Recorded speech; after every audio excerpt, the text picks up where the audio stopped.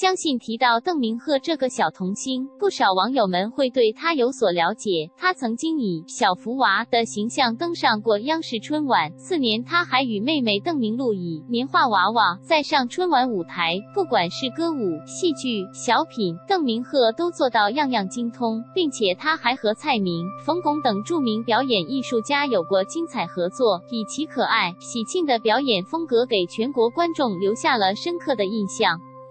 实际上，邓明鹤从小就在艺术学校学习。他曾经获得过河南电视台梨园春比赛的擂主。同年，他还被评为河南省少儿十大名票，一度拿下过少儿艺术大赛金奖。在中国少儿戏曲小梅花奖，他以高分夺魁。邓明鹤的出名，不仅让其一家人充满骄傲和高兴，就连全村的乡民也都引以为傲。可谁也不曾料到，一场突如其来的重病会降临到邓明鹤身上。他被查出患上急性髓细胞白血病，送到北京儿童医院治疗。在确诊患病后，邓明鹤的病情顿时受到社会大众的关注，许多家企业以及爱心人士纷纷为他捐款。庆幸的是，经过半年的治疗，邓明鹤康复出院。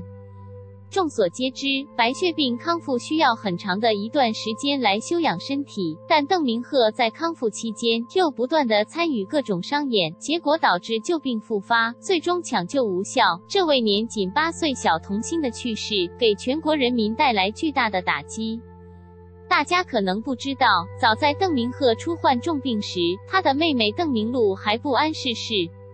为了让他能够安心上学，家人对他隐瞒了邓明赫的病情，并且告诉还告诉他哥哥是去参加了节目，要很长时间才会回来。年幼的邓明露信以为真，可没过多久，他还是在电视上看到邓明赫躺在医院病床上，望着哥哥那病态的模样，邓明露一度落泪不止。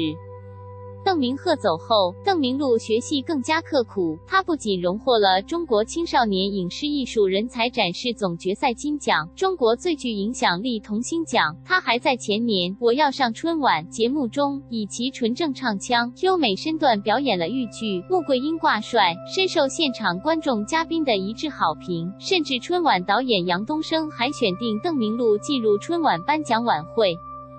今年，邓明露表演的豫剧《花木兰》选段“谁说女子不如男”再次征服了杨东升导演，震撼了全场观众。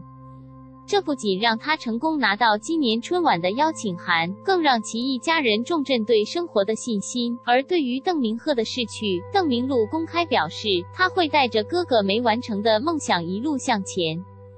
特别声明：以上文章内容仅代表作者本人观点，不代表新浪看点观点或立场。如有关于作品内容、版权或其他问题，请于作品发布后的三十日内与新浪看点联系。